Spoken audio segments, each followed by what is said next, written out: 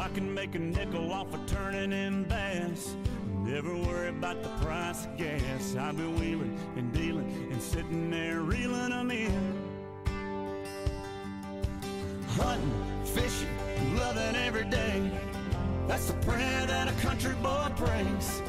Thank God he made me this way. Hunting and fishing What's going on, guys? Arkansas Bassin here, and today we're going to have a top five summer baits.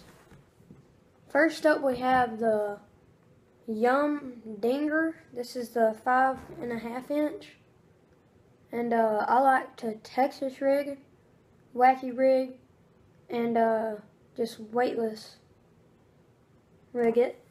Uh, that works pretty good around here. And then the Zoom Super Fluke. It's a Arkansas Shiner,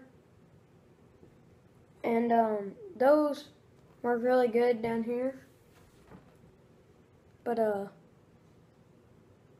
next we have the baby brush hog. This is a young baby brush hog, and I like to use these because in their coffee scent.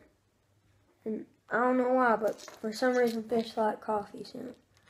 And then right here we have a lipless crankbait, a red and crawdad style lipless crankbait. And uh, then next up we have um, this. That work. This works really good around rocks. And um, so does this wiggle wart right here. Uh, has an orange belly. It's a deep diver. It's a 12.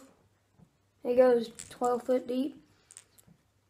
And uh, this also works really, really good around the rocks. But those are the top five summer baits, in my opinion. Thank you for watching. Leave a like and subscribe.